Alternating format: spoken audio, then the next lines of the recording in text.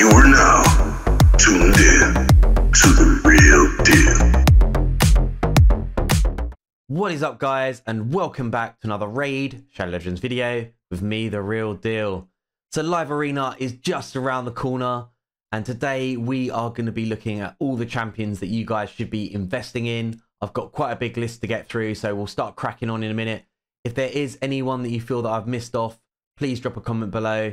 Uh, but these are the ones that I think are the creme de la creme. Um, so let's start off with Nukas first, everyone's favourite place to go to start with.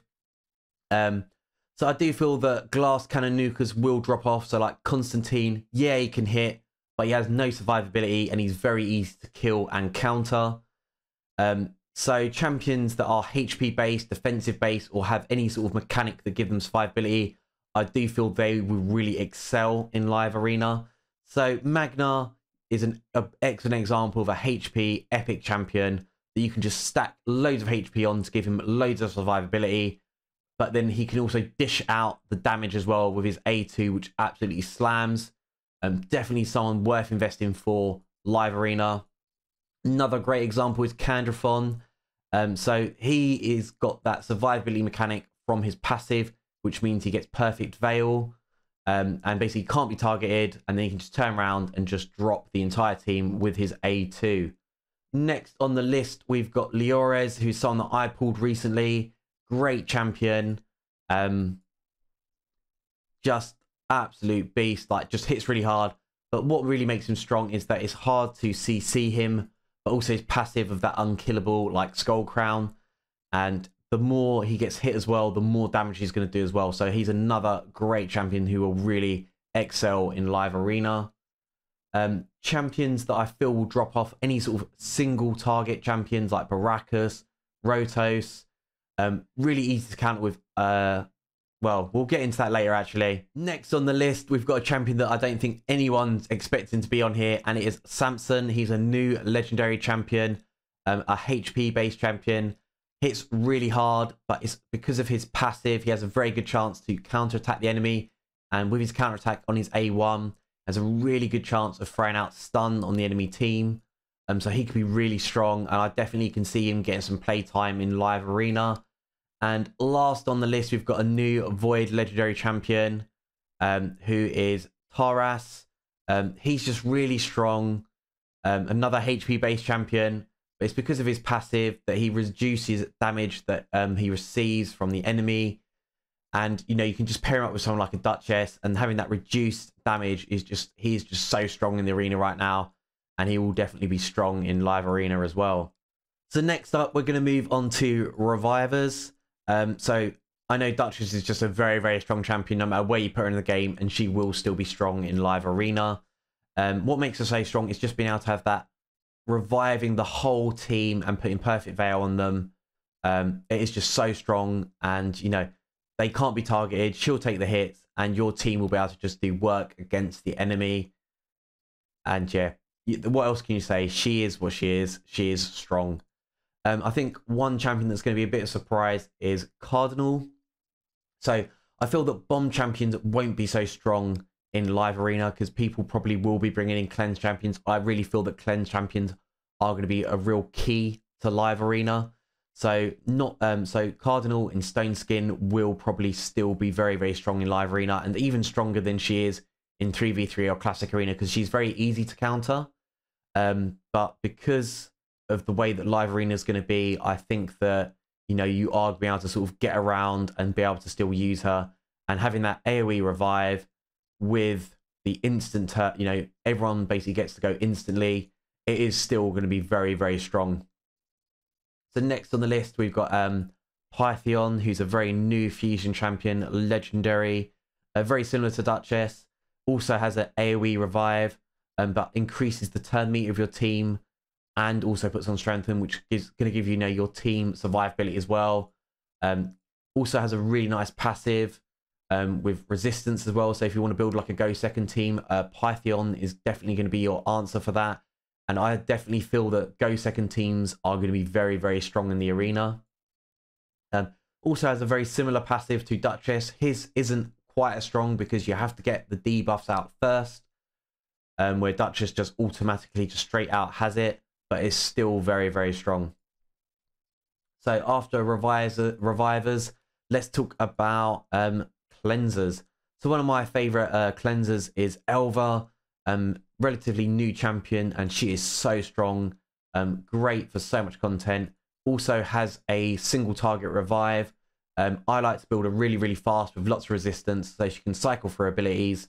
Um, and you know she has a um, single target revive on a three turn cooldown, very, very strong.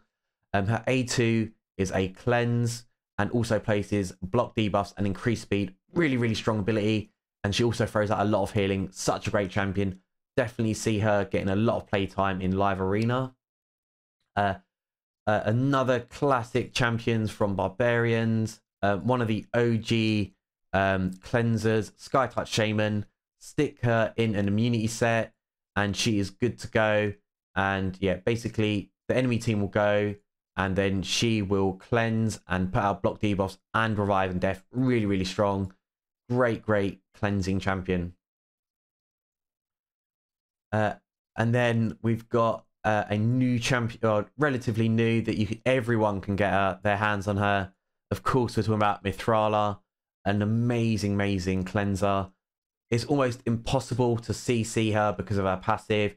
Just stack defense, um, defense, and um, sorry, defense. They just stack resistance and accuracy on her, and she will just have so much resistance that no one can control her.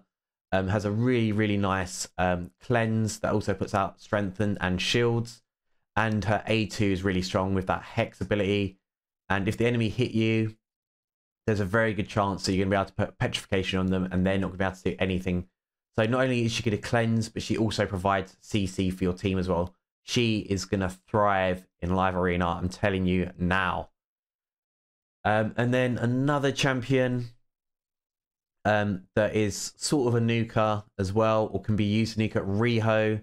Um, great, great support champion. Even though it says she support, um, she is sort of can be used as a nuker, and she will do lots of damage for you. But yeah, another great cleanser. Block debuffs as well. Also, she loves to throw out loads of debuffs on the enemy. Um, and yeah, she can she can drop heads. She is a strong, strong option for live arena as well. So next, we're going to talk about strippers and uh, CD champions, so cooldown champions. Um, so first on the list, we've got one of the strongest champions in the game, another demon spawn. Who are we talking about? Of course, it's Prince Kymar. So not only can he remove all buffs and put the enemy team to sleep, which is great. This means that you can make your nukers slower. Um, he also has a speed aura resistance as well. Uh, speed aura resistance. No, he has a speed aura lead as well. So that's going to help and make sure that you get to go first. He'll put the enemy team to sleep. You guys will, you know, your team will do all your abilities. Then he resets your skills, increases turn meter, um, and then everyone gets to go again. Just solid, solid champion. Next on the list, we've got Yumiko, another great uh, CD champion. So basically, she puts the enemy's um, skills on cooldown but then resets your champion's turns as well. Also has Hex as well, which can be useful. Yeah, really, really great champion. And she also places Perfect Veil on herself, so she can't be targeted. Really, really annoying champion to go against in the arena. Um, then we've got um, a very old school champion, but still one of the best champions in the game for arena. Of course, is none other than Warlord champion. Just being able to put the enemy's skills on cooldown is just amazing. It goes for all types of abilities. So if they got block debuffs or stone skin, it doesn't matter. He's going to lock them down and then your team can cut in and do what you need to do. Uh, it will just make their nukers useless. He is just such a strong champion. And not only does he have that, but he also puts out big fat shields and block debuffs as well. Just an amazing champion. So this is a champion that everyone can get. Of course, it does take a little bit more work. You need to be able to get into gold for 3v3. But Ramantu, I definitely will be strong for live arena as well. Um, being able to remove stone skin and any sort of like buffs that the enemy have, just stripping those away, then throwing out block active skills, block passive skills is just such a strong ability. Um, he also has loads of um, debuffs he can throw out as well and his A2 and his A1 is also very strong as well. Just a solid, solid champion. And last up on the strippers, we've got another champion from Skinwalkers, and that is Uko, another fusion champion, also known as Pumba. Um, just being able to strip buffs uh, and also put out block buffs is very, very strong and decrease accuracy as well. Really underrated ability. But also, of course, you can build him nice and tanky as well. So he can also revive your team and he also puts out block damage for one turn. He's also just going to really do work for you in live arena. So I do feel that um, speed champions are going to lose their value in arena. So Arbiter, Lyssandra, Lady Kimi, champions like that are going to be really easy to counter. So if you have like, for example, a Tormin, um, you know, he's going to be able to slow down or freeze the enemy team when they boost turn meter or put on buffs. There's a very good chance that he's going to freeze them. Um, other champions that can cut in or disrupt the enemy team. Hegemon is still going to shine. Um, really interesting champion because you can build in two ways. You can either go really fast with lots of accuracy and put him in like a, you know, like daze or stun or provoke set to control the enemy. So it can be crowd control. We can go Nukemon. Both are really good options. I think I would actually rather go Nukemon um, and like have Nukemon as my damage dealer and then three support champions around him. Um, but there's both still really good options. And basically his passive is that he will always go first unless there's another Hegemon, then it comes down to speed. And yeah, can hit really, really hard. Um, and yeah, a, a really good cut-in champion is Yoshi. I use this guy all the time. And has like a really unique passive. So basically, every time the enemies or enemy um, receive a buff, he gets his turn meter boost. Then he cuts in with his A3 and throws out, well, he increases accuracy and then he throws out True Fear, just such a great champion. And True Fear is not a, is not a, uh, not a CC that you want to have on your team. So yeah, such such a good champion, uh, and definitely feel that um, support champions are going to be really really important.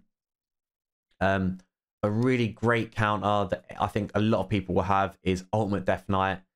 Um, if you've got him, I would definitely recommend uh, recommend using him. Just being able to, you know, any if they've got any sort of single nukers like Rotos or Mountain King or Baracus, you know, he's just going to make them absolutely useless, and he's going to take all that damage. Um, definitely want to build him in Stone Skin though. Um, but yeah, he's going to be another solid choice. Uh, so we've got another barbarian on the list. List. Can you guess who it is? It is Ursuga. Um, yeah, so just she just reduces the damage that from the other team, and she takes it all. Um, just really great survivability to keep your nukers going. Um, and she has like a whole bunch of abilities like ally protection, strengthen, just really reduces the damage that the enemy team can do against you. Also throws out some really cool debuffs as well. Decrease uh, crit damage, decrease attack, decrease speed, decrease defense. Just such a solid champion. I do know she's like, I know there's a lot of uh, Void Legendaries on here. Unfortunately, they are the strongest champions. Um, and I am trying to try and be as diverse as I possibly can. Uh, unfortunately, the next champion is also another Void Legendary that I don't have. Uh, Nekhret, just such a solid champion.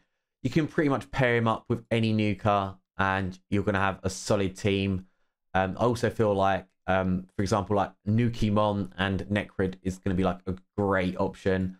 Um, so basically, he has like a really cool passive where he puts block debuffs, ally protection, and strengthen on them. Uh, and basically, they just can't do anything for to them until they kill Nekhret, or you need to bring like double nukers and stuff. But yeah, such solid, such a solid choice. Um, and yeah, pretty much most people just build him in stone skin. Yeah, and they're not going to be able to touch a nuker. Why he just you know gets the job done and just get an easy W. So next on the list, another champion that I feel that a lot of people should have. Dark Elf, uh, Lydia. Um, so she's just such a great champion. Um, you can build a really loads of different ways. You can either go high resistance or hybrid build. So lots of resistance and lots of accuracy. Um, great A2. So throws out uh, drop defense and weaken on the enemy.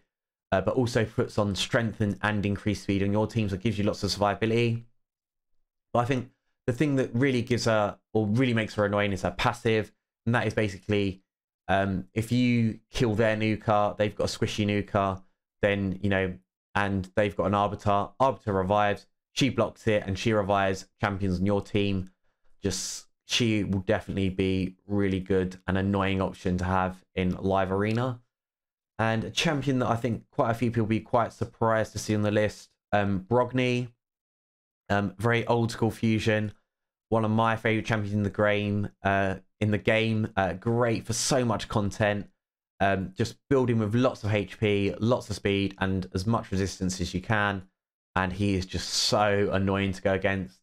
Um, it's partly because of his passive. So basically, if there's any shields, um, so for example, if you had a bolster set, that'd be really good. Unfortunately, my bolster gear is pretty pretty rubbish, so I can't use it. But um, if you do have a really good bolster set, definitely worth using him in a go second team. Um, yeah, basically, if anyone's got a shield on them, he will reflect damage. And I've come against this many times in 3v3 where I bring in my Constantine, he does loads of damage. He does his double AoE hit on his um, A3, I think, no, A2. Um, and then basically on the second hit, my Constantine's already dead because the shields are reflected damage back to him. Yeah, great, great champion. And if you build him with loads of HP, he's going to be, put big fat shields on your team, but also block debuffs. Really, really powerful skill. Just another solid option. So talked about supports, uh, cutting champions, strippers, um, cleansers, nukers, revivers. So, and also just talk about champions that I feel that are going to lose some value. So uh, Rotos, I feel like he's gonna be so easy to counter. I feel like a lot of people be will be running like um, Ultimate Death Knight, uh, Bomb Champions as well. I just feel that cleansers are going to be really necessary for live arena. So Bomb Champions will definitely lose their value. Um, and like I said as well, speed champions like Arbiter, Lady Kimi, Lyssandra, they're going to be so easy to counter. Um, and yeah, they're just really going to lose their value.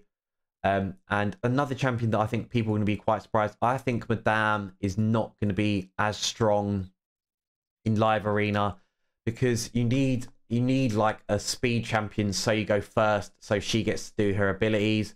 And if there's all sorts of ways to counter speed champions of course speed champions will still be good lower tier and like mid tier. But i think if you're going to be in like gold live arena you're not going to be using your speed champions as much. They are definitely going to be so easy to counter but yeah, if Madame doesn't have like an arbiter and she's not going first, she's pretty useless. Um, so if you lock her out, she's not really going to be able to do anything. Um, so yeah, I definitely feel like she's not going to have as much value as like other champions that can strip. Um, but she's still a good champion. I might be wrong. We'll have to see what happens when it comes along. But yeah, I'd love to know what champions do you think are going to be really strong for live arena, and how do you guys think the system's going to be? But yeah, so I've been the real deal. Thank you so much for watching. Please give me a cheeky thumbs up. Make sure you smash, smash, smash that subscribe, and I'll see you in my next video. Peace!